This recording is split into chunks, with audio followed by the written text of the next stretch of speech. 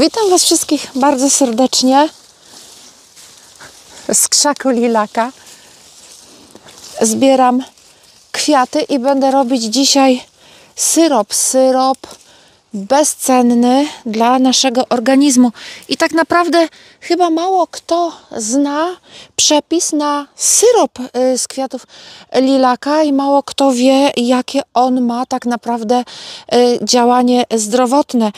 E, jest syrop, który można robić z samych kwiatów, e, tylko lilaka, ale ja od lat już robię syrop, który łączy się z kwiatami mniszka. Przepis na syrop z mniszka już jest u mnie na kanale yy, i też wielu z Was już yy, go robi i jest to syrop naprawdę bardzo dobry, yy, cenny dla naszego organizmu, zwłaszcza jak chorujemy na gardło i górne drogi oddechowe. Jak już zaczyna coś nas tam gitkać w tym gardle, zaczyna się pojawiać pierwsze uczucie zbliżającego się kataru, to wtedy jest właśnie dobrze brać syrop z mniszka i praktycznie 2-3 dni i wszelkiego rodzaju e, stany zapalne gardła, infekcje gardła e, ustępują i to jest bezdyskusyjnie niezaprzeczalne, że ten syrop z mniszka jest naprawdę dobry. Ale są choroby cięższe niż y, zapalenie gardła, niż choroby gardła górnych dróg oddechowych. Jest chociażby grypa, jest silne przeziębienie, zapalenie oskrzeli, zapalenie płuc, e, trudności z wykrztuszaniem się i wtedy właśnie robi się taki syrop mieszany z mniszka i z lilaka, który działa tak naprawdę jak antybiotyk, bo on ma właściwości i przeciwgorączkowe, e, bakteriobójcze, e, wirusowe, takie no, zabija wszelkiego rodzaju wirusy, które powodują, że e, pojawia się choroba na przykład grypy bądź całych tych, wiecie, pańskich chorób, które w ostatnich latach bardzo tutaj szalały i nawet zamykały nas w domach. I to naprawdę, uwierzcie mi, że łagodzi te dolegliwości na tyle, że przechodzimy to bardzo łatwo. U mnie ten syrop jest już zawsze od lat i jak tylko przychodziła pańska choroba, to ten syrop żeśmy brali no tak po łyżeczce kilka razy dziennie. Owszem, człowiek gdzieś tam chory był, ale to wszystko przechodziło bardzo łagodnie. Pokaszlało się troszeczkę, pokichało do lekarza, w ogóle nie chodzimy. E, gorączka mija, na oskrzela nie schodzi, także dzisiaj podam Wam przepis na ten syrop. Ależ ten lilak pachnie. Tutaj w całej kuchni, w całym domu roznosi się zapach lilaka, pospolicie zwanego bzem. Jest on już oskubany. Pracy jest dosyć dużo. Wbrew pozorom nie jest to łatwa sztuka oskubać te pojedyncze kwiatuszki, bo trzeba skubać jeden po jednym, jeden po jednym. I zwracać uwagę, żeby nie było zielonych końcówek. Nie może być czegoś takiego, że wrzuci się do tutaj tej, e, do tego y, syropu taką gałązkę z tego względu, że ta zielona część zawiera goryczkę i później niestety ona tą goryczkę odda do syropu i będzie czuć gorycz, będzie taki, taki no gorzkawy smak. Także tutaj trzeba to wszystko oddzielać pojedynczo. I teraz kwiaty mniszka zalewam wodą. Tutaj już mam porcje poodmierzane i stawiam na gazie, żeby to mi się zagotowało. Od momentu, jak mi się zacznie gotować, będę gotowała 15 do 20 minut.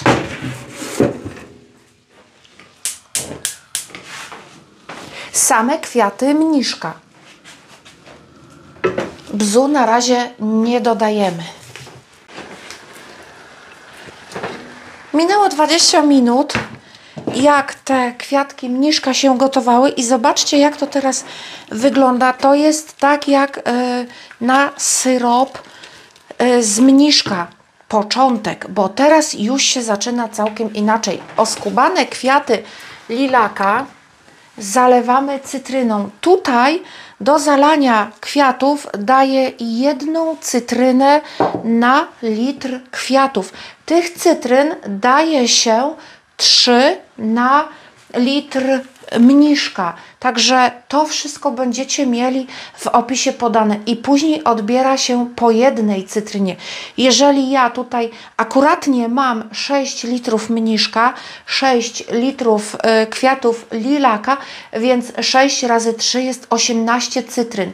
Odbieram z tych 18 6 i tutaj tymi sześcioma zalewam sobie kwiaty i teraz te kwiaty dodaję do tutaj gorącego mniszka. Można zrobić odwrotnie. To przelać do kwiatów. Mi tutaj jest łatwiej, bo mam taki duży garnek, nie mam drugiego takiego, żeby to przelewać. No i przy przelewaniu z reguły ja się zawsze oparzę, więc dodaję tutaj kwiaty do tego. To już nie ma naprawdę znaczenia, czy kwiaty dodamy do tego wrzątku, czy zalejemy je wrzątkiem. Ważne jest, aby ich nie zagotować. I tutaj teraz bardzo ważna i istotna sprawa. Kwiaty mniszka, żeby wydobyły swoje cenne właściwości dla syropu, trzeba zagotować. Podczas gotowania uwalniają się wszystkie cenne ekstrakty, ale bez kwiaty bzu nie mogą być zagotowane, bo jeżeli je teraz byśmy poddali procesowi gotowania 10-15 minut, wszystko co cenne zostanie zabite. Ich trzeba zaparzyć. I teraz zobaczcie, to wszystko sobie tutaj wymieszałam. Zagotowane kwiaty mniszka, cytrynę, kwiaty bzu i to zostawiam na dobre 24 godziny. Niemniej może stać dłużej, może stać półtora dnia, może stać nawet do dwóch dni w warunkach chłodnych, bo jeżeli będzie ciepło, kwiaty zaczną kisnąć. Można to, jak wystygnie, wstawić do lodówki, może to stać nawet dwa dni. Podczas tego tych dwóch dni czy tego dnia będą wszystkie te właściwości się uaktywniały do wody. Co dalej? To Wam powiem, jak już przejdziemy do kolejnego procesu. Więc widzimy się za dzień lub dwa. No i witajcie po dwóch dniach. Zobaczcie, jak teraz wygląda tutaj ta woda z tych kwiatów bez stracił swój kolor, ale za to woda przejęła kolor bzu. Zapach jest taki mniszkowo-bzowy i teraz trzeba to przecedzić, kwiaty dokładnie odcisnąć i to chyba jest najcięższa robota, jaka teraz mnie tutaj będzie czekać.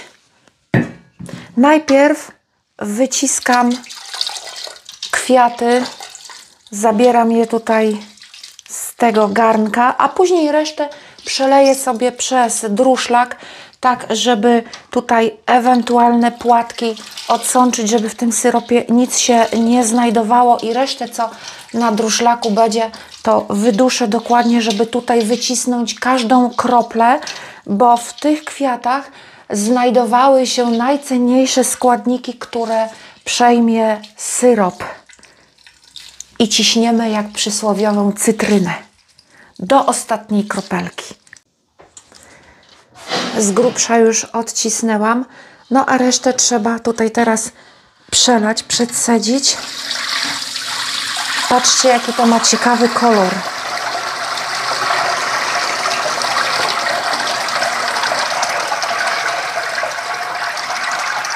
Teraz na pewno kolejnym przepisem będzie słynny syrop e, z pędów sosny, z tym, że ja robię go całkiem inaczej, bo generalnie większość z Was e, pędy sosny zbiera. E, zbiera je w nieodpowiedniej fazie, to jest raz, a dwa zasypuje cukrem i zostawia. I musicie przyznać rację, że bardzo często taki syrop się psuje, kiśnie, nie jest zdatny do wypicia i trzeba go y, doprawiać alkoholem. A jest sposób połączenia y, składników właśnie z sosny i odpowiedniego przygotowania, że syrop się nijak nie zepsuje. Ale to będzie już następnym razem, jak nazbieram sosny. No i tutaj teraz to stawiam na ogień, a te kwiaty e, wyniosę kurom. Moje kury zjedzą wszystko, można to dać na kompost. Teraz stawiam to na ogniu i dodaję cukier. Cukier mam już odmierzony. No i tutaj musicie e, pamiętać, żeby garczek wziąć taki, żeby to nie wyleciało, bo jednak cukier zwiększy objętość cieczy w garnku. Zobaczcie, jak to się tutaj teraz zwiększa.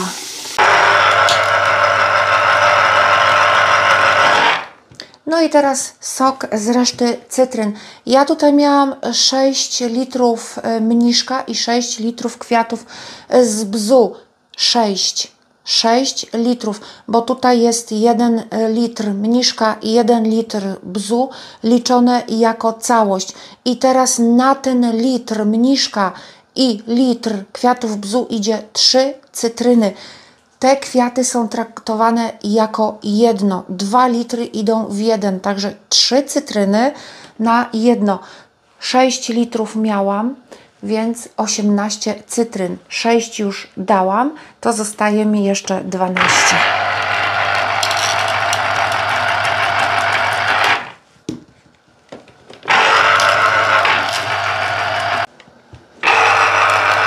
Patrzę, czy się nie przeleje, bo jest pełno, ale gorszy jak choroba. Nie chciało mi się tutaj wymieniać.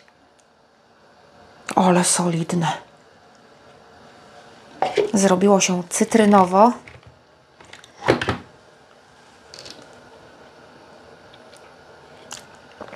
Pyszna. Order uśmiechu.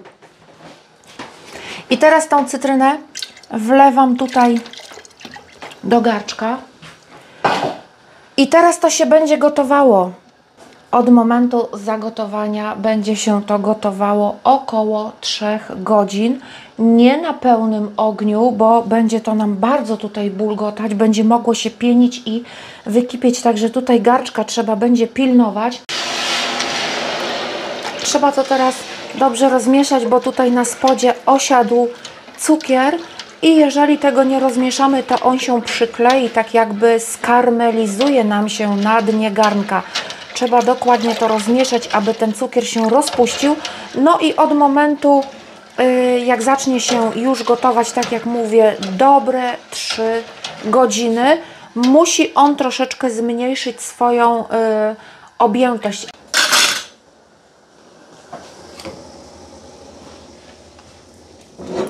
Ugotowane, pięknie pachnie. Ha, zobaczcie, jaką mam chochlę, jak bunia z gumisiów z dziureczkami.